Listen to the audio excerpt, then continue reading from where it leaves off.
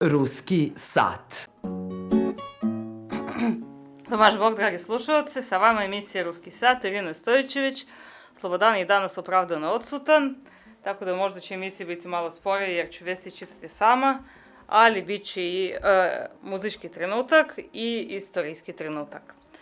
Dakle, e, naša prva vest je da e, agencija RIA Novosti prenosi da prva partija najnoveg nuklearnog goriva dobijeno u Rusiji. Energe, energoblok je atom nuklearnih stanica sa takvim reaktorima e, dozvolići e, bitno, da se bitno proširi energetska baza nuklearne energetike i da se minimizuje, e, minimizuje nuklear, nuklearni otpad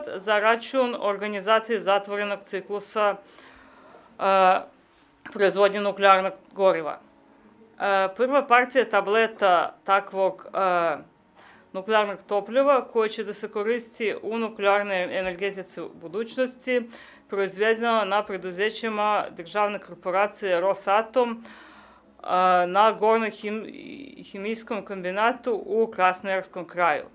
Prinosi agencija REA Novosti. Sa druge strane, Ukrajina može da stvori nuklearnu bombu za 10 godina, to je ocenki to je ocenki agencije Reuters. Na teritoriji Ukrajine se nalazi veliki izvore uranijuma, energetske blokove nuklearnih stanica, postoje, gde postoji mogućnost da se obogaćuje nuklearna goriva, a takođe i preduzeće gde u godine Sovjetskog saveza se proizvodili balističke rakete. Sve, sve to su faktore koje mogu dozvoliti Ukrajini da u roku od 10 godina može da razvije svoje nuklearno naoružanje. Prinosi agencija Reuters ocenku ruskih eksperata. Sa druge strane, u Rusiji počeli velike vojne vežbe pod nazivom Vostok 2014 u okvirama vežbe na dalekom istavku, na daleki istok bili su predislocirani delovi vojske smještene u zapadnom vojnom okrugu, znači na zapadu Rusiju. Strateški vežbe Vostok 2014 odpočete na istoku Rusije. Oni će da se održe do 25. septembra na više od 20 kopnjenih, morskih i aviacionih poligona od Anadira do Vladivostoka. Ko zna, se znalazi na karte Rusije, to je daleki istok Rusije. Svega u vežbama uzići učešće oko 100.000 vojnih lica, do 1.500 tenkova, 120 aviona, do 5.000 jedinica naoružanja, vojne i specijalne tehnike i do 70 vojnih brodova. E, u jednoj od prošlih emisija pričali smo o ruskom izvođaču Andreju Makareviću koji je napisao pesmu koja se nije dopala ruskim vlastima, ali što najvažnije pošto nikakve e, represije od vlasti nisu usledili, nije, dopala, nije se dopala ni njegovim slušalcima, čak ni njegovim drugogodišnjim fanovima, pošto njegova grupa Mašina vremena postoji od kasnih 70. godina. Dakle, e, turneja po Rusiji je uh, otkazana zbog veoma slabe prodaje karata. Umjesto toga Andrej Makarević je zakazao turneju po Ukrajini i Sredinim američkim državama. Tako da e, nekako prirodno, očigledno da je ovaj trenutak vrlo važan i nekako prirodno se vidi ko je, kuda i čemu naklonjen. E, bivši glava koncerna BP zbog sankcije protiv Rusije nafta može da skoči do 150 dolara. E, sankcije Sjedinjenih američkih država i Europske unije protiv naftnog sektora u Rusiji dovešće da rasta cena na naftu do 150 dolara za barel, izjavio predsjednik savjeta direktora najveće svetske kompanije za trgovinu e, e, za trgovinu naftom i sličnim, sličnom robom, bivši glava britanske naftne korporacije BP Tony Hayward. E, vesti iz Ukrajine. E, Ministarstvo odbrane Ukrajine izjavilo da je e, 80% učesnika takozvane antiterorističke operacije imaju psihološke probleme. E, okolo 80% ukrajinskih vojnika, vojnih lica, oficira koji su uzeli učešće u protivterorističkoj operaciji u Donbasu imaju probleme psihološkog karaktera izjavio direktor Vojne medicinskog departmenta Ministarstva odbrane Ukrajine Vitalij Andronati. On je rekao sljedeće, okolo 80% svih vojnika koji su izašli iz te zone u kratkoročne, uh, uh, na kratkoročno odsudstvo imaju uh, određene znaci psihološke dezadaptacije, to je posljedica vojnog stresa i vojnog premora.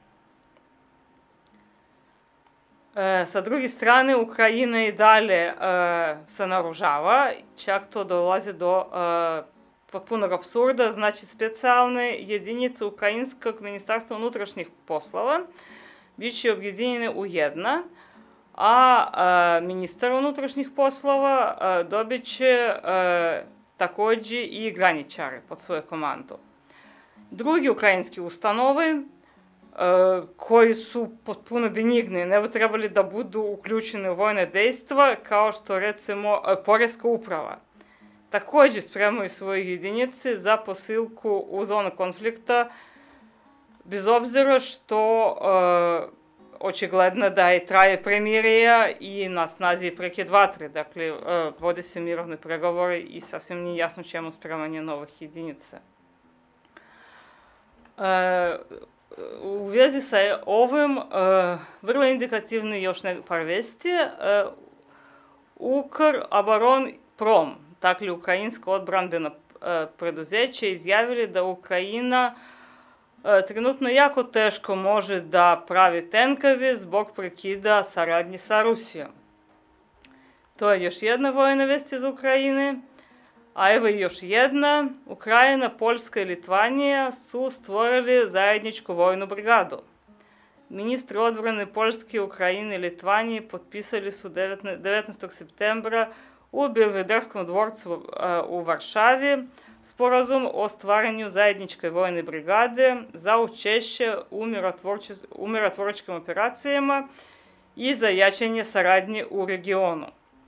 E,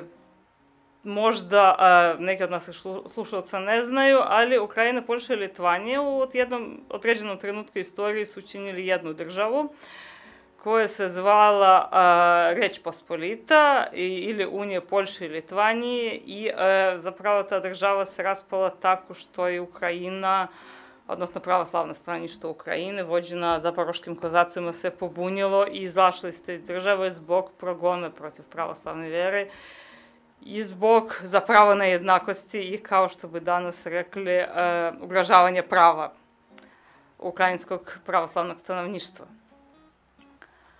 Uh, Francuska istupila za ukidanje sankcije protiv Rusije. Uh, specijalni predstavnik vlade Francuski po razvoju veza sa Rusijom Jean-Pierre Chevenman tokom susreta sa spikerom Državne dume Sergejem Nariškinim izjavil da Pariz želi da izađe iz krize u odnosima sa, sa Moskvom i, i radi na tome, odnosno, является, je, odnosno je pristalica ukidanje sankcija. E, još par vesti koji su vezani za e, Ukrajinu, odnosno za ratno stanje u Ukrajini, a e, govori o tome da u Ukrajini trenutno e, E, izvinjavam se, moram da prvo pročitam ovu drugu vest. Dakle, Evropski parlament podržao ideju o e, isključivanju Rusije od sistema SWIFT u slučaju da se pogorša situacija u Ukrajini. Dakle, e, Evropski parlament e, izrazil podršku e, jačanja jedinstva pozicije zemalja Evropske unije u odnosu na Rusiju, i pozvala Evropsku uniju da ponovo razmotri odnose sa Ruskom federacijom i da se, a, da se odrekne koncepcije strateškog partnerstva. u slučaju da situacija u Ukrajini se pogorša. E, u svjetlo ovoj izjavi pročitat ću sljedeću vest.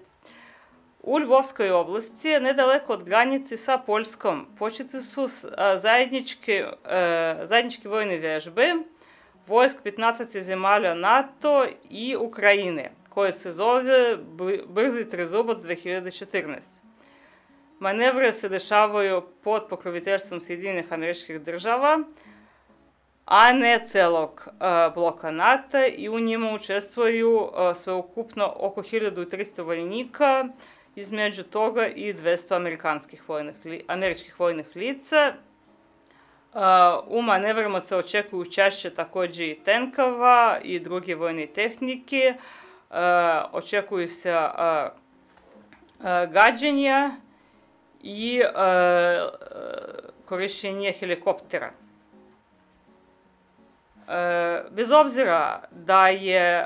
kako piše ukrajinski sredstvo masne informacije, planski vojne vežbe, posmatrači podvukli da je ovo prvi slučaj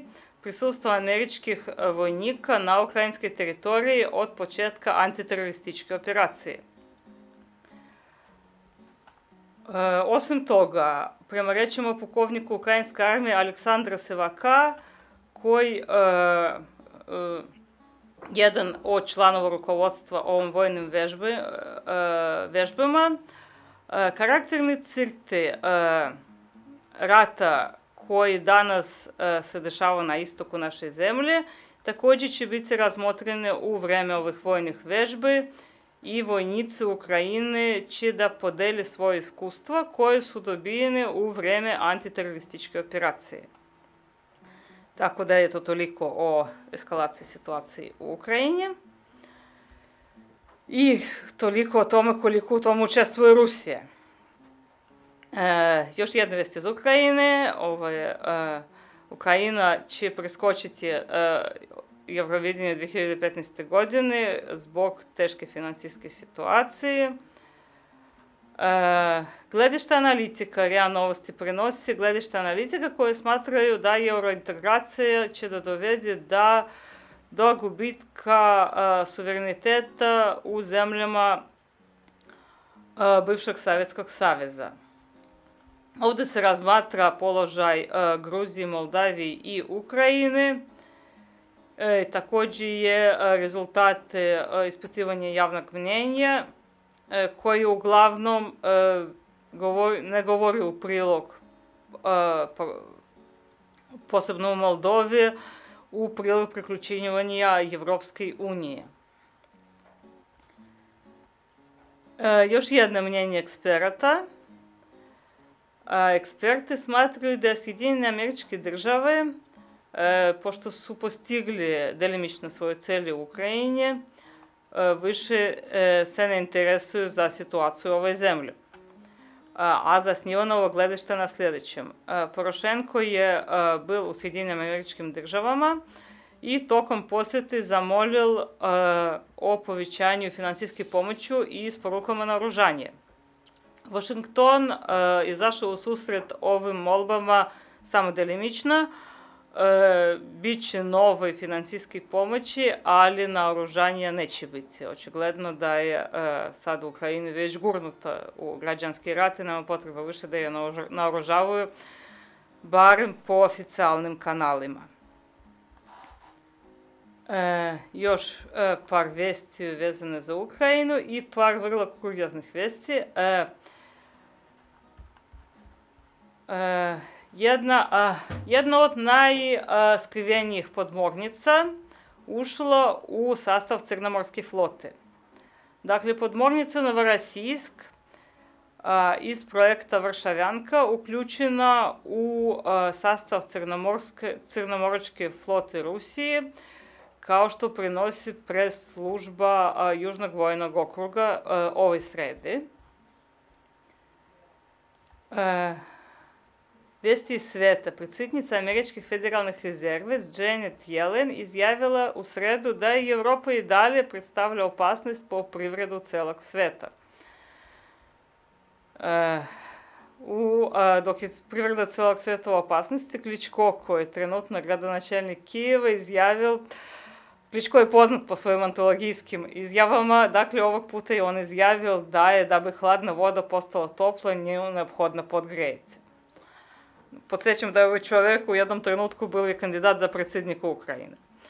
Odnosno, e, i za ovaj e, e, smešne izjave stoje zapravo veliki problem, pošto Ukrajina nema dovoljno gasa, tako da, pošto već počeli, počela jesenji hladnoća, mnogi ukrajinski, odnosno mnogi delovi Kijeva još uvijek nisu dobili toplu vodu, ani grejanje.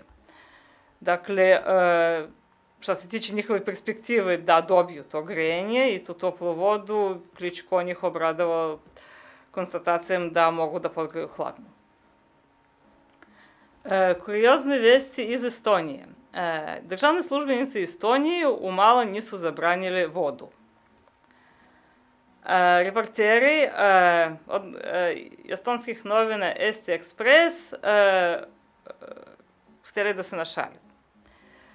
Oni su a, poslali a, na adresu više odbornika Estonskog parlamenta pismo u kom, o a, štetnosti i opasnosti po život od a, dihidrogena monok, monoksida. E,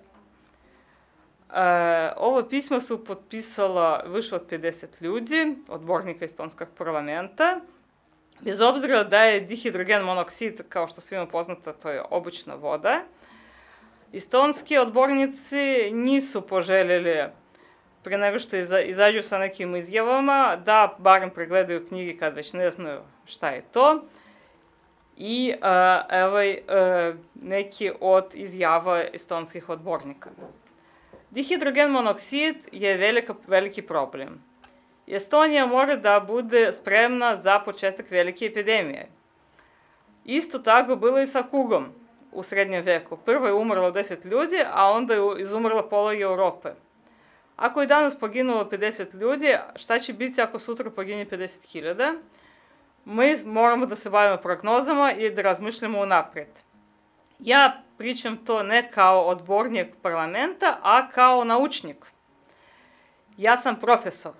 Rekao je jedan estonski e, profesor, takođe je odbornik u parlamentu interesantan profesor, ne znam čega, a drugi odbornik izjavio da je dihidrogen monoksid je e, ogroman problem koji zahteva da se njima odmah pobave nadležni, da ovo hemijsko jedinjenje u Estoniji izazvalo e, smrt po e, 50 ljudi, da to zahteva odmah e, e, neodložno reagovanje,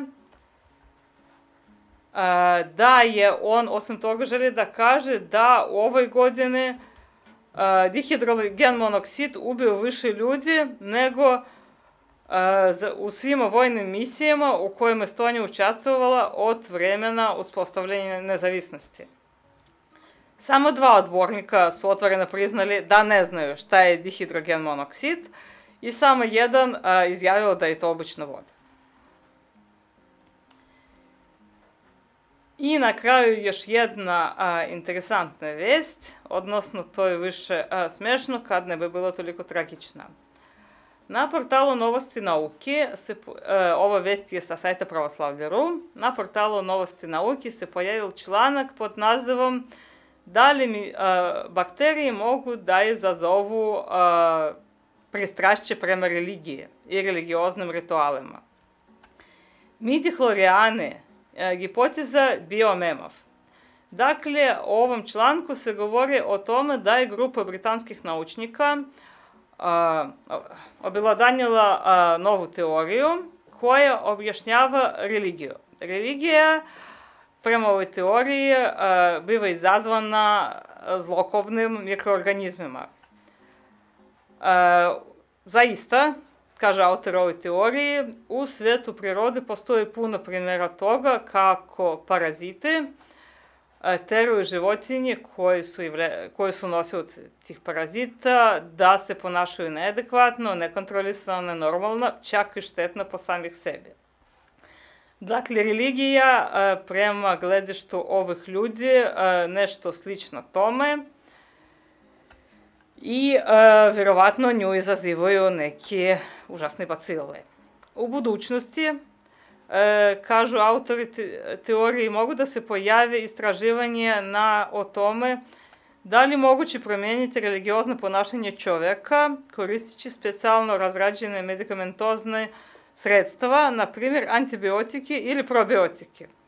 Sad, e, Bili više nije tu, ali e, kako ja, ja učim od najboljeg informatnika, tako da ne bi me začudio da je e, za koju godinu ili desetine godina šta ja znam, ljudi koji budu vodili svoje decu u crkvu bit će optuživano da ih izlažu opasnim infekcijama.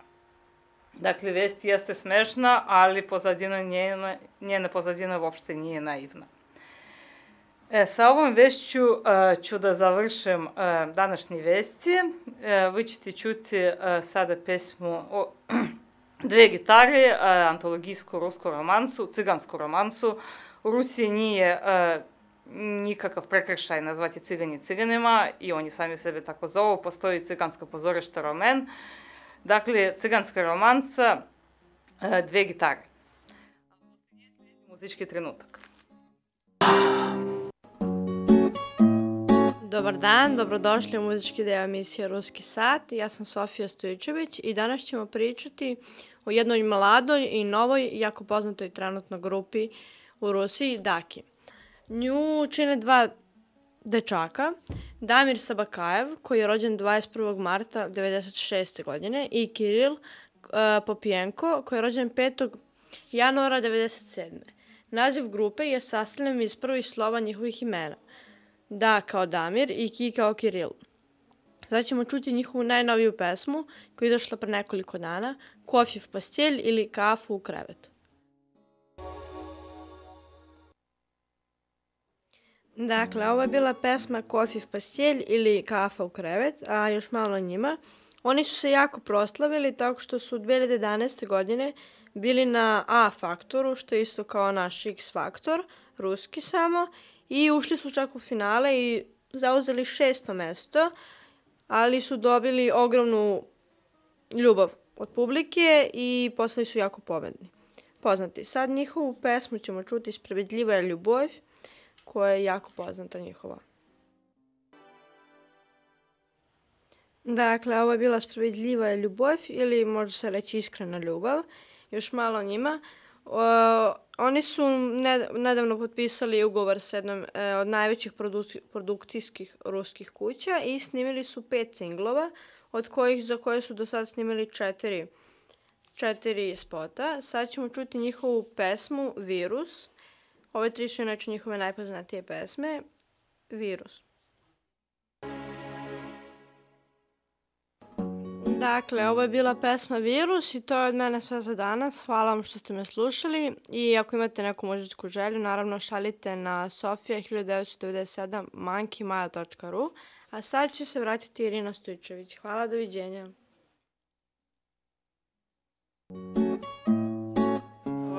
Sa vama je Ruski sat i Irina. Morali smo malo da skratimo našu čuvenu rusku vodku jer već je 5 sati. E, sledi istorijski trenutak. E, Ruska pravoslavna crkva danas je u 15. sedmice po duhovima. E, e, praznuje predslavljer e, Raždecva Presvetoj Bogorodice, kako to kažu u Rusiji, mučenjaka Sozonta, svetoga Eana, arhijepiskopa Novgorodskog, присномученика Макария Каневскog, архимандрита Вручскog и Переяславскog и преподобных Макария Оптинскog. Також апостола от 70 Евода, Іонісіфора, мученика Євстихія і Луку, преподобного Александра Пересвета и Андрея Ослябию, чувенный русский юнаки из Куликовской битки, преподобных Серапиона э, Псковского. Sveštena mučenika Petra i Mihajla Presviterov koji su postradali 1918. godine, sveštena mučenika Evgenija, mitropolita Gorkovskog i s njima Stefana Presvitera i prisna mučenika Evgenija, Nikolaja i Pahomija koji su postradali 1937. godine, odnosno bili su streljani u radnom logoru священномученика Григория, Василия Пресвитеров и мученика, присномученика Льва, koji su postradali 1937. godine. To su ruski novomučenici koji su postradali od komunističke vlasti, a pošto je tako velik spisak, specijalno ću da obratim vašu pažnju, procitirat ću odgovor Arhimandrita Lva na ispitivanju u radnom logoru pre nego što je byl streljan. Dakle, on je rekao sledeće. Ne smatram sebe krivim. Po mojem ubeđenju ja sam antisovjetski čovjek, ali nisam se bavila kontrrevolucionom agitacijom. Ali ja sam duboko religiozan čovjek koji posvetio sebi i sav svoj život služenju Bogu i e, cilj mog života je misionarenje i propaganda religije e, među ljudima. Ja sam se time bavio, bavim se i ću se baviti. Dakle, e, na tome ćemo da završimo danas. E, nažalost, nemamo vremena da se zaustavimo detaljnije na životu ovih ruskih novomučenika. E, danas u Rusiji imen dan slave Aleksandre, Andrej, Vasilij, Grigorij, Evgenij, Evod, Evstihi, Evtihi, Ivan, Lev, Luka, Makarij, Mihail, Nikolaj, Onisifor, Pahomi, Piotr, Sava, Serapion, Sozont i Stefan. Šta se tiče interesantnih događaja koje su desili u Rusiji na današnji dan i koji su vezane za Rusiju, evo, evo jednog događaja koji nije direktno vezan za Rusiju, ali interesantno s tačke gledišta njegove povezanosti sa ruskom istorijom. Dakle, 1066. godine desila se bitka kod Fulforda, Harald Surovi, treći kralj Norveški, izgubio bitku za gospodstvo u Engleskoj. Harald Surov interesantan time da je njegova, njegova žena bila Jelisaveta Jaroslavna, čerka kneza Jaroslava Mudrog i unuka svetog Vladimira. Interesantno da je Jaroslav Mudrog imao tri čerki i više sinova, Jelisaveta je se udala za norveškog kralja Haralda Surovog, Anastasija se udala za kralja Mađarske, a Ana se udala za kralja Francuski Genriha I, poznata u Francuskoj kao Ana Ruskaja ili Ana Kijevska i bila je prva pismena žena u Francuskoj. Uh, 1862. godine, na današnji dan, dakle 20. septembra, u Sankt Peterburgu osnovana prvo, prvo je u Rusiji konzervatorijum. 1878. godine u Peterburgu otvorene a, više bestuževske kurse. A, to je prvi u Rusiji univerzitet za žene. A, 1919. godine, ovo je jedna vesela vest, a, novine Pravda izbacila parolu proletariji na konja. Time se proletariji se pozivali da se upisuju u konjički, u konjički e, odrede Crvene armije. Međutim, tokom godina e, ta parola se transformisala u zdravicu kojom se završavaju neke sedeljke. 1934. godine sovjetski ledolomac Litke završio prvu plovidbu Severnim morskim putem, koja je izvedena po prvi put u, za jednoplovnu sezonu.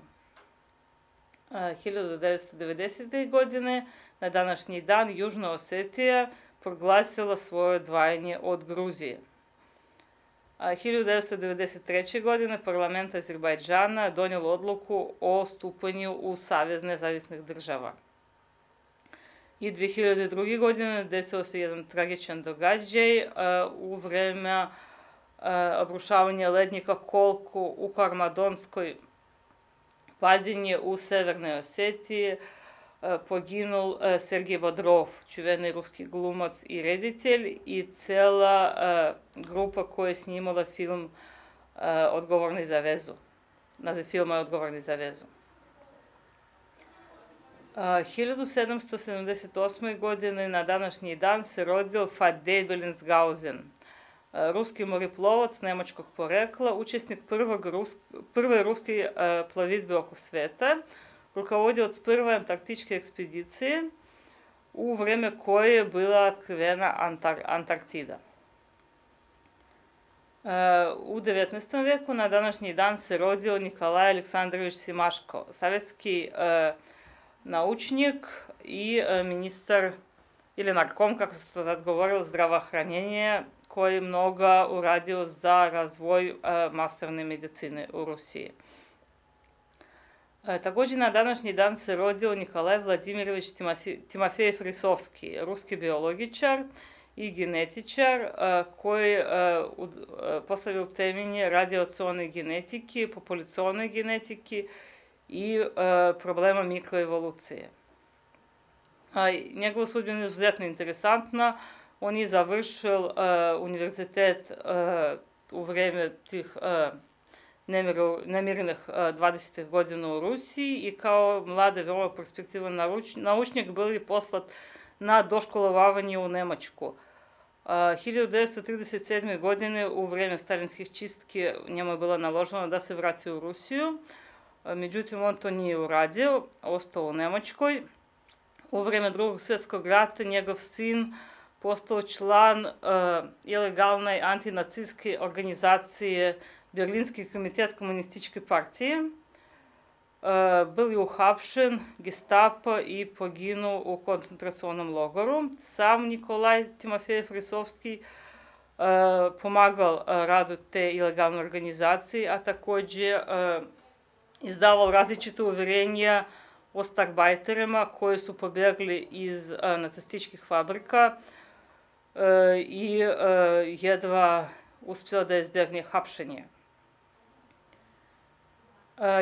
U proleće 45. godine Timofej Frisovski dobil predlog od okupacionih snaga saveznika da prebace svoj, svoju laboratoriju u zapadnu Nemačku i da izbjegne susret sa Crvene armije i savjetskom vlašću, međutim to odbil i to je rezultiralo njegovim hapšenjem. Nekoliko godina proveo u Sibiru u zarobljeničkom logoru, međutim, posle je bio pušten i rehabilitovan i nastavio da radi u Sovjetskom savezu.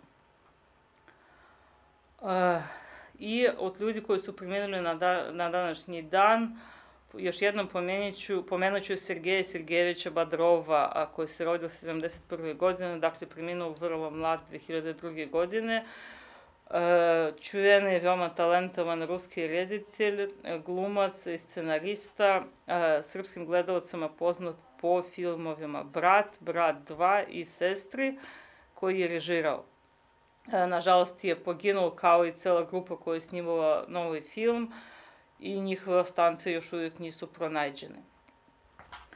E, završit ćemo današnju emisiju jednom interesantnom muzičkom numerom. E, malo ću se zaustavim na e, izvođaču. E, on je takođe izveo i dve gitare koje ste čuli u prvom delu emisije. To je Oleg Pogudin, jedan od najvećih izvođača ruskih romansa, e, savremeni ruski izvođač. E, njega zovu kraljem romansa i srebrnim glasom Rusije.